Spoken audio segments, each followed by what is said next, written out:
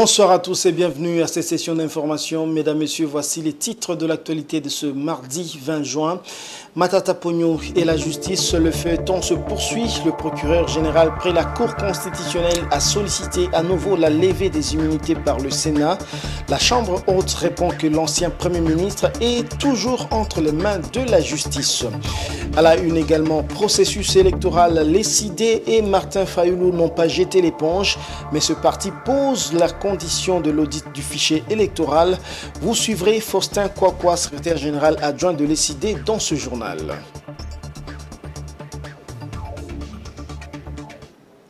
Bonsoir à tous. Matata Pogno sera-t-il déféré devant la justice pour des faits qui remontent à l'époque où il était Premier ministre? Le procureur général près la Cour constitutionnelle, Jean-Paul Moukolo, a une nouvelle fois saisi le Sénat pour obtenir la levée des immunités du sénateur. Mais réponse 2 du Sénat à la sollicitation du procureur, le Sénat n'a pas autorisé une nouvelle fois des poursuites, estimant que Matata Pogno n'a pas encore recouvré ses immunités depuis et il est encore entre les mains de la justice. Enakisei. Le procureur général près la Cour constitutionnelle Jean-Paul Moukolo vient de saisir à nouveau le bureau du Sénat pour solliciter l'autorisation d'instruction judiciaire à la charge du sénateur Matata Pogno Mapon. Jean-Paul Moukolo motive sa demande par l'existence des faits nouveaux contenus dans un rapport des inspecteurs des finances, membres de la commission des contrôles sur la gestion du parc agro-industriel de Bukangalonzo. Ces rapports font état d'infractions de faux et usage de faux et des détournements des deniers publics à charge du sénateur Matata Pugno. Après avoir reçu le réquisitoire du parquet général près la Cour constitutionnelle, le bureau de la Chambre haute du Parlement a invité les procureurs généraux près la Cour constitutionnelle pour l'audition sur cette affaire. Le bureau du Sénat a estimé qu'il n'est pas nécessaire d'autoriser pour la deuxième fois le poursuite à l'endroit de l'ancien Premier ministre. Pour le président du Sénat, Matata Pugno a déjà été mise à la disposition de la justice à Revient la charge selon Bahati Lokwebo déposer des actes. En date du 5 juillet 2021, la décision avait déjà été prise d'autoriser les poursuites et même la levée des immunités du sénateur Augustin Matataponi. Donc nous considérons, nous, que jusqu'à ce jour, le collègue Matataponi est toujours à la disposition de la justice. D'ailleurs, dans le dossier concernant les biens réaliser, nous n'avons pas encore été notifiés quant à la suite réservée à ce dossier. Euh, est-ce qu'il a été classé sans suite ou bien le dossier est en cours? En tout cas, nous ne sommes pas encore saisis, d'où nous estimons que nous n'avons pas à ce stade à nous prononcer une seconde fois. Nous avons pensé que comme le collègue est à la disposition de la justice, il revient à la justice de poser, de lui poser toutes les questions nécessaires, de l'interroger et de poursuivre euh, l'instruction du dossier. Reste à savoir sur l'avenir politique de l'homme en cravate rouge. Et puis, un autre homme qui a affaire avec la justice, l'opposant Franck Diongo, a été arrêté par les renseignements militaires où il se trouve à l'instant. Les faits reprochés à ce candidat déclaré à la prochaine présidentielle n'ont pas encore été dévoilés. Le parti politique SID n'a pas quitté le processus électoral en cours. C'est la déclaration de Faustin Kwakwa, secrétaire général adjoint de cette formation politique. C'était au micro de Géopolis Télévision. Ce cadre a réitéré la position de l'opposition qui dit ne pas être écoutée depuis le début du processus électoral. Il a indiqué que tant que le fichier ne sera pas refait, il ne va pas déposer des candidatures à tous les niveaux car les élections, c'est une question de confiance, dit-il. Fiston Oleko et JC Mavouba. Après la sortie médiatique de Martin Fayoulou, président de l'ECD, déclarant son refus de déposer les candidatures à tous les niveaux avec ce fichier électoral de la CENI qui a conduit à la loi sur la répartition des sièges promulguée par le chef de l'État, plusieurs thèses se développent, notamment un quelconque retrait de ce parti politique du processus électoral en cours. Pour élaguer tout malentendu, nous avons rencontré le secrétaire général adjoint de l'ECD, Faustin Kouakwa, qui explique la pensée de son parti. Nous ne disons pas que nous quittons le processus électoral nous sommes dans les processus puisque nous nous sommes rendus dans les différents endroits pour l'enrôlement. Aujourd'hui, on vient de publier le fichier électoral issu de l'enrôlement qui était très très très euh, accompagné d'irrégularités. Et le fichier lui-même, il est aussi plein de, de, choses floues que personne ne sait son contenu. Voilà pourquoi nous nous disons, parce que ça, il faut retenir. Tant que le fichier ne sera pas sérieusement audité par un organisme extérieur outillé à la matière avec une euh, reconnaissance internationale, nous n'allons pas déposer nos candidatures. Voilà ce qui a été dit. Pour lui, le délai n'est pas un problème s'il faut s'arrêter et bien faire les choses. Et il est possible d'auditer à nouveau ce fichier à un temps record. Vous savez, le délai constitutionnel, il est là, c'est vrai. Nous-mêmes, nous avons exigé que les élections se fassent dans le délai constitutionnel. Mais au regard des irrégularités, au regard de la situation même qui prévaut dans ces pays, cette gestion calamiteuse issue d'une euh, séance électorale mal gérée, à quoi bon de se précipiter si on peut s'arrêter? Et pour nous, ces choses-là peuvent se faire en moins de deux mois. Si on les fait aujourd'hui, les élections auront lieu à la date telle que prévue par la Constitution. Pour décider si le fichier électoral n'est pas refait, il fera en sorte que le pays n'aille pas aux élections. Du côté du gouvernement, le processus électoral est déjà dans un tournant décisif. Pour ce faire, les candidats doivent préparer les dossiers pour le dépôt des candidatures qui commence ce 25 juin. Et face à la prise de position de l'ECD, le gouvernement parle d'un dialogue que veut l'opposition. C'est le ministre de la Communication et Médias, Patrick Mouyaya, qui l'a déclaré devant la presse. Selon lui, refaire le fichier électoral revient à dépasser le délai constitutionnel. Suivez-le dans cet extrait choisi par Fiston Oleko. Euh, malheureusement, sur les processus électoraux, nous révivons ce qu'on a vécu avec les différents processus. Souvenez-vous de 2006, de 2011, 2018, on ne voulait pas de la machine à voter. Bon, finalement, euh, c'est la machine à voter qu'on a adorée après. Vous ne voulez pas du fichier, finalement, on a participé à ces élections-là. C'est un peu la répétition de l'histoire. Nous ne voulons pas aller dans, dans ce genre de considérations. Nous considérons que nous, notre travail comme gouvernement, c'est de nous assurer que nous assurons la sécurité et les financements du processus et que pour le reste, il appartient à la CENI, justement, de voir comment elle gère euh, les, parties prenantes sur les questions qui les concernent. Ici, il faut noter que cela a été annoncé il y a quelques jours. On va enrôler à Kwamut. Ça veut dire qu'il y a eu une évolution positive de la situation sécuritaire parce que vous parlez d'inclusivité des élections. L'inclusivité, c'est aussi celle-là, permettre euh, notamment aux compatriotes qui sont dans d'autres territoires, Rutshuru, euh, Niragongo, Massissi, qui ne peuvent pas euh, qui n'ont pas été enrôlés sur les listes électorales, nous assurer qu'ils puissent participer à ces processus. Les calculs politiciens auront un autre moment. Parce que s'il faut aller dans les fonds de ce qui est demandé, nous sortons des délais électoraux. C'est les dialogues qu'on veut, on passe par des voies détournées, mais appeler les chats par son nom. Parce que s'il faut refaire le fichier, comment nous fait, on refait l'enrôlement, qu'est-ce que nous faisons? Et on aura dépassé les délais. Je pense que le temps pour l'essentiel, pour les Congolais, ce qu'ils doivent savoir, c'est que le processus électoral va rentrer dans un tournant déterminant à partir du 25 juin et que les différents candidats devraient plutôt se préparer à ces rendez-vous et surtout apporter du contenu parce que les Congolais ont soif d'entendre des projets des uns et des autres. Quelle est la situation des réfugiés en République démocratique du Congo? À l'occasion de la journée internationale consacrée aux réfugiés, la question se pose avec acuité. La RDC est particulièrement touchée par le déplacement précaire des populations. Le pays compte plus de 5 millions de déplacés internes et 1 million de Congolais qui ont trouvé refuge dans des pays voisins. Le Congo accueille en même temps des réfugiés venus des pays étrangers fouillant la violence. En somme, il s'agit d'une problématique préoccupante pour les autorités du pays. Rachel Misenga.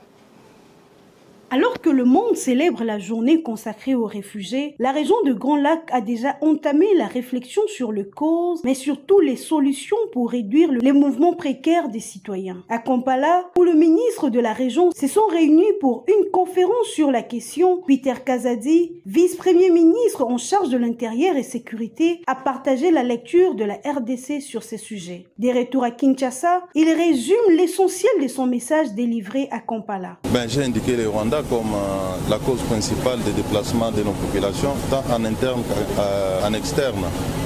C'est le Rwanda qui entretient des groupes armés euh, avec son armée sur notre sol. C'est le Rwanda qui nous fait la guerre. C'est le Rwanda qui contraint nos compatriotes à aller se réfugier, d'autres à, se disperser à travers le pays. Il faut qu'on mette fin à la violence puisque la violence ne conduit à rien. La violence détruit. Euh, La violence ne permet pas le développement de nos pays. Euh, nous avons sensibilisé pour notre part la communauté des États de l'Afrique de l'Est. Nous pensons qu'ils ont compris les messages venant de la République démocratique du Congo. Mais entre-temps, nous devons nous organiser comme une nation pour faire face à tous ceux qui nous veulent du mal. Le vice-premier ministre a également signalé que le conflit au Soudan a déversé au Congo plus de 500 000 réfugiés des différentes nationalités. Selon les Nations Unies, plus d'un million de Congolais ont trouvé refuge dans les pays frontaliers de la République démocratique du Congo. La RDC compte plus de 6 millions de placés internes. Et de Kinshasa, rendons-nous rendons à présent en Ituri, où le gouverneur militaire, le lieutenant-général Johnny Luboya, met en garde toute personne qui oserait attaquer la ville de Bounia. Il a tenu ce propos lors de la présentation d'un officier de liaison entre les rebelles du M23 et la milice Zahir, arrêté par les forces armées de la République démocratique du Congo et présenté publiquement. Suivez. Monsieur Kombaï Kassai Faustin, avec ses effets militaires, a été arrêté alors qu'il revenait de plus tôt en direction de Mungwalo pour éventuellement moraliser la milice Zahir et ses alliés dans le but d'onder encore une fois de plus les Ituriens. Devant la presse et membres du comité provincial de sécurité, cet officier de liaison a cité la chaîne des commandements actuels dans les camps de la milice zaïroise. Avec un ton ferme et plein de détermination pour défendre l'intégrité territoriale nationale, les gouverneurs de l'Ituri et commandants d'opération, le lieutenant-général Lubuya Kachama Johnny, a implémenté les forces armées de la République démocratique du Congo qui se battent jour et nuit pour une cause noble. Et ce monsieur que vous voyez là a eu comme mission, je, dois, je pense qu'il doit être euh, quelqu'un chargé de morale et tout, il a eu pour mission d'aller déposer, vous voyez, ces tenues-là. Cette tenue, parmi ces tenues, il y a celle-là. Cette tenue, c'est une tenue que vous avez vue à Goma, que le M23 mettait. Et vous savez pourquoi ils ont mis ça L'autorité provinciale a mis en garde tous ceux qui complotent actuellement pour attaquer la ville de Bounia. Nous avons toutes les informations. Venez, allez, vous allez encore attaquer Bounia. Venez arriver à Bounia. Parce que vous pensez que vous êtes fort. Et là, je parle à toute la population, toutes les communautés ituriennes. Je vous prends à témoin encore aujourd'hui. Parce que le jour où ça va arriver, le jour où ces gens-là vont oser, je ne voudrais pas que les gens commencent à dire des histoires, ah, vous savez, oh, massacre, ou ceci, ou cela. Là, vous êtes en train d'être prévenus. Il faut dire que tous les actes macabres posés par le facteur de troubles et tireur de ficelles sont documentés. Nous sommes en train de documenter, acte par acte, tous ces politiciens-là où on voulait savoir s'ils étaient impliqués, on le sait maintenant qu'ils étaient impliqués. Lors de la présentation de cet officier des liaisons entre les terroristes du M23 et la milice Zahir, quelques Ituriens ont manifesté un sentiment douloureux et en appel à l'implication du chef de l'État. Autre chose à présent, le Premier ministre Jean-Michel Samalou Condé a reçu la vice-présidente de la Banque mondiale pour l'Afrique de l'Est et australe, Victoria Kwakwa, dans son cabinet de travail à la primature. Au centre de leurs échanges, le partenariat entre la RDC et cette institution de Bretton Woods qui doit être renforcée pour booster l'économie de la RDC. Suivez. Euh, J'ai eu une très bonne discussion euh, d'abord avec le Premier ministre et après ça avec le Premier ministre et euh, quelques membres du cabinet. Et on a parlé vraiment sur comment est-ce qu'on peut renforcer notre partenariat, le partenariat entre la Banque mondiale et la RDC, pour qu'ensemble on puisse pousser davantage le développement du pays, pour qu'on puisse avoir beaucoup plus de résultats.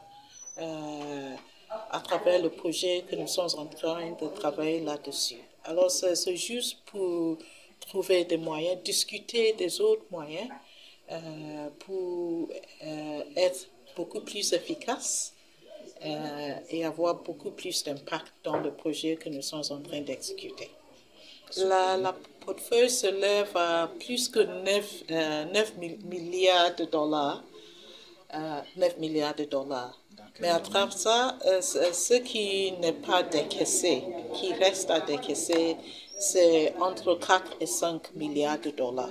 Le portefeuille, c'est euh, nos engagements, mhm. n'est-ce pas?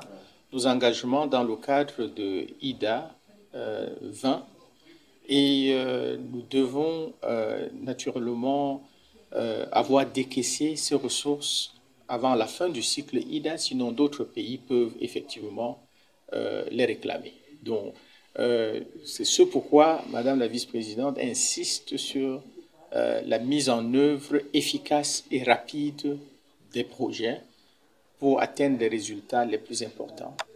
Les ressources sont affectées pour financer le développement de la RDC. Et euh, nous devons accélérer la mise en œuvre des projets pour lesquels ces ressources ont été allouées. Et euh, nous espérons effectivement accélérer cette mise en œuvre pour euh, que d'autres pays euh, qui en sont demandeurs et qui exécutent plus vite ne en sport, les léopards de moins de 20 ans ont débuté leur préparation à Kinshasa depuis quelques jours. Ce rassemblement entre dans le cadre des préparatifs de la première édition du tournoi Fachi organisé par l'Union des fédérations de football d'Afrique centrale, mais aussi des 9e Jeux de la francophonie. Blast Kuzola. Les léopards U20 de la République démocratique du Congo, joueurs évoluant aussi bien au pays qu'à l'étranger, ont entamé leur préparation dans la capitale congolaise en vue de leur, participation au 9e jeu de la francophonie et au tournoi de l'UNIFAC surnommé Fachikep. Sous la supervision du sélectionneur national Guy Vukasa, le jeune joueur congolais se sont assemblés pour le stage bloqué au village Vénice de Bibois à la périphérie est de Kinshasa. Le football masculin U20 a été été retenu parmi les disciplines sportives pour cette édition de Jeux de la francophonie. Le 9e Jeu de la francophonie auront lieu à Kinshasa du 28 juillet au 6 août 2023. Quant au tournoi de l'UNIFAC, le coup d'envoi est prévu le 30 juin 2023, sauf changement de dernière minute. Cette préparation intensive vise à préparer les fauves congolais de la catégorie à représenter valablement le drapeau national lors de ces deux compétitions de grande envergure. Le jeune joueur travaille dur pour affronter les défis qui les attendent tout en cherchant à démontrer leur talent et à obtenir des résultats positifs pour leur équipe et leur pays. Les léopards U20 sont déterminés à faire honneur à la RDC et à profiter de cette opportunité pour gagner en expérience et en visibilité sur la scène internationale. La nation congolaise soutient avec enthousiasme ces jeunes talents et espère voir les léopards U20 briller lors de Jeux de la francophonie et des Fatigues. Place à présent à la page internationale.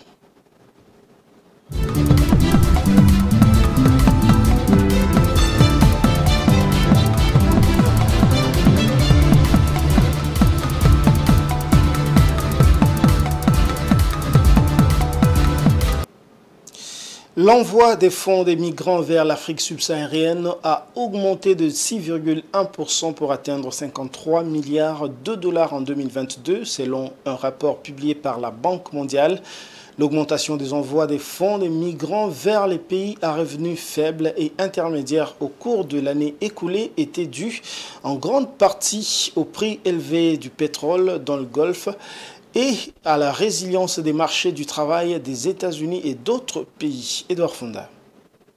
Selon un rapport de la Banque mondiale du 15 juin 2023, les transferts des fonds des travailleurs migrants vers l'Afrique subsaharienne ont augmenté plus que prévu de 6,1% pour atteindre 53 milliards de dollars en 2022 en raison principalement des flux importants vers le Nigeria et le Kenya. Certaines des raisons de cette augmentation sont la hausse des prix du pétrole dans le pays de Golfe et les conditions favorables du marché du travail aux États-Unis et dans des pays développés. Cependant, le coût moyen des transferts des fonds vers la région était de 8% au quatrième trimestre de 2022, soit près du triple de la cible de 3% fixée par les objectifs de développement durable. Selon les projections pour 2023, l'augmentation des remises migratoires vers l'Afrique subsaharienne ne devrait pas dépasser 1,3%. La faible croissance prévue de ces envois reflète le ralentissement attendu de la croissance économique dans les principaux pays développés où sont installés la majorité des expéditeurs de fonds.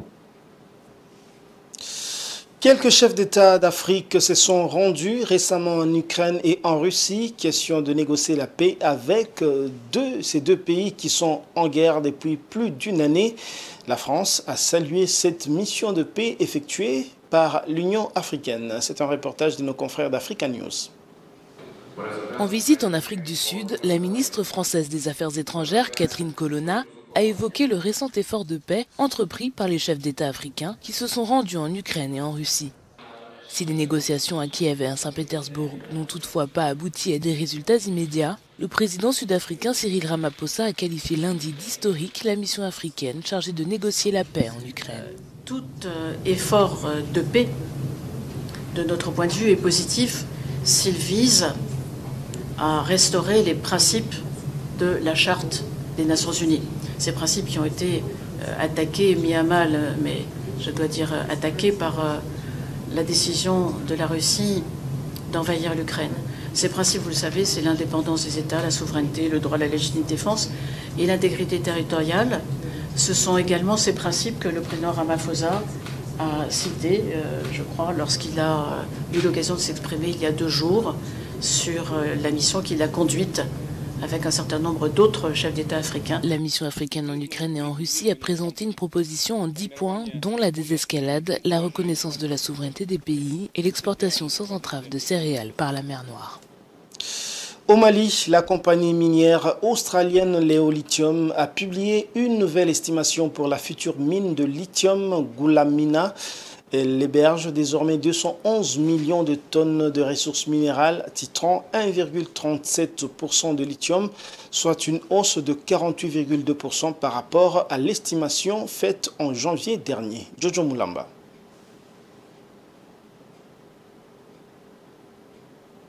La durée de vie de la première mine de lithium du Mali, Goulamina, est actuellement estimée à 23 ans. Mais l'amélioration de l'estimation de ressources minérales du projet permettrait de prolonger cette durée ainsi que la capacité de production annuelle. Selon les données officielles, les ressources de la première mine de lithium du Mali dépassent désormais 200 millions de tonnes. Ce succès est principalement le fruit d'un peu plus de 40 000 mètres de forage menés depuis le début de l'année pour un coût d'environ 5 millions de dollars américains. Les résultats ainsi obtenus seront bientôt intégrés dans l'estimation de réserves minérales attendues en août 2023 et qui devraient prolonger de façon significative la durée de vie de la mine. Une augmentation de 68,6 millions de tonnes à Goulamina à partir d'une campagne de forage très modeste est un résultat fantastique. Cette amélioration significative vient également appuyer l'éventuelle prolongation de la durée de vie de 23 ans du projet Goulamina. Pour rappel, la première production concentrée de spodumène est attendue au deuxième trimestre 2024 à Goulamina. L'éolithium commencera néanmoins à expédier du minerai non traité dès le second semestre 2023 dans le but de générer de revenus avant l'entrée en service de la mine. Place à présent à la revue de presse.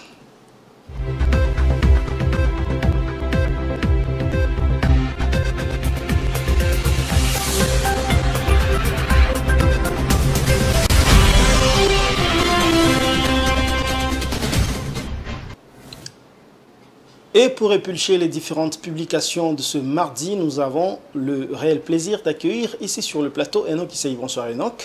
Bonsoir Patrick Ilunga. Déjà, on va commencer avec cette première nouvelle. L'Union européenne lève certaines sanctions contre des politiciens congolais, certains politiciens congolais. Justement, on va commencer par euh, le journal La Prospérité qui note ce matin au travers euh, de sa une, l'Union européenne lève les sanctions contre Kalev Mutondo et Emmanuel Ramazani Chadari, selon le journal à la lumière des arrêtés pertinents du tribunal de mars 2023 le journal euh, ou encore le Conseil de l'Union européenne a décidé, selon un communiqué rendu public hier, de retirer sa liste noire le nom de Kalev Mutondo et Emmanuel Ramazani Chadari, tous deux respectivement anciens responsables de l'ANER et vice-premier ministre, ministre de l'Intérieur. En son temps, euh, ils furent bien sûr accusés en raison de leur fonction d'entrave à la réalisation du processus électoral en République démocratique du Congo après plusieurs années. Voici qu'ils sont enfin sortis de ces démêlés qu'on doit dire avec l'Union européenne.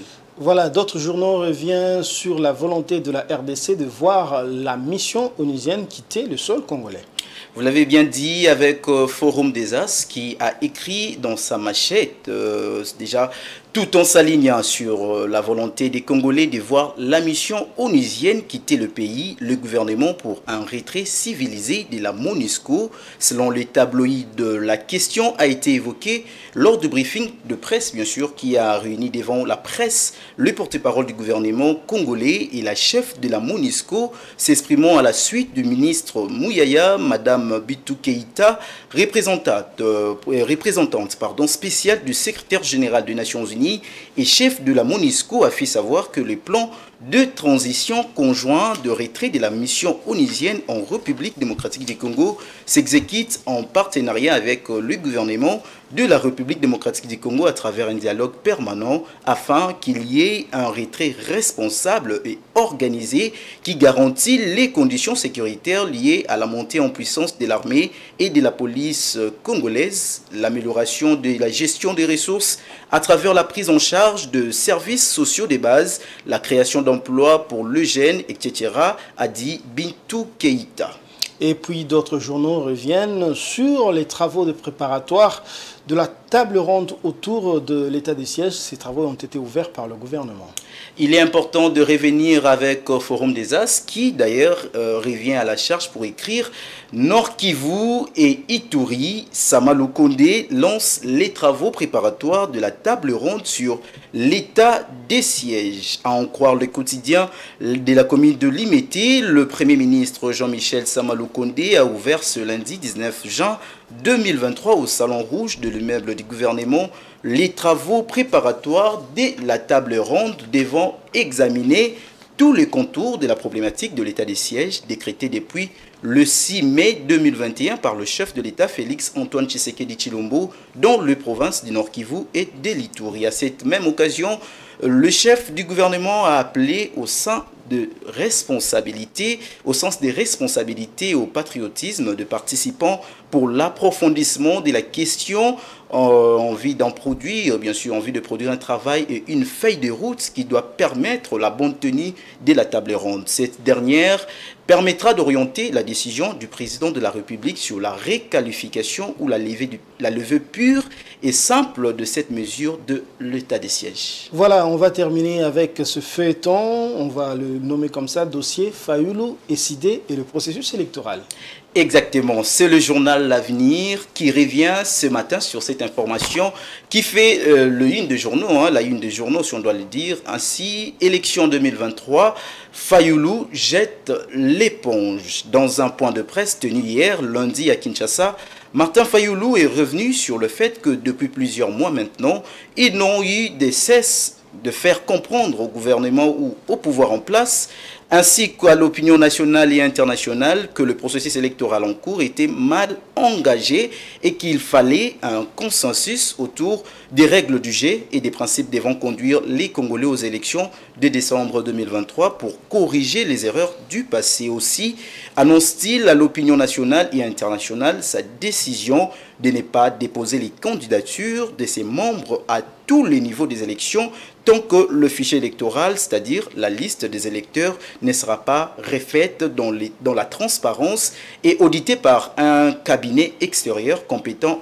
en la matière. Fayoulou a vite oublié. Donc voilà, c'est tout pour la revue de presse de ce soir. Voilà, c'était donc la revue de presse avec Enoch ici.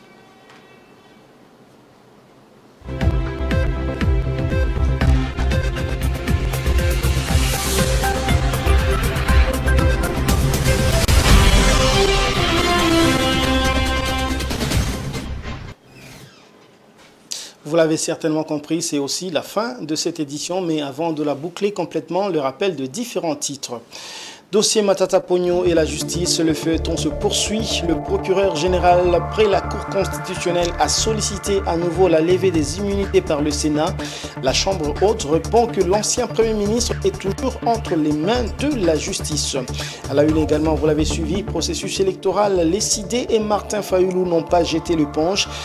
Le parti du fichier électoral.